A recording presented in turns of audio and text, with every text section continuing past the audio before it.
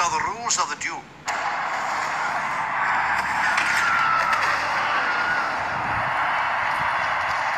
The winner takes the loser's trophies. And their dignity. That was a rule of the duel. A most ridiculous duel. Clash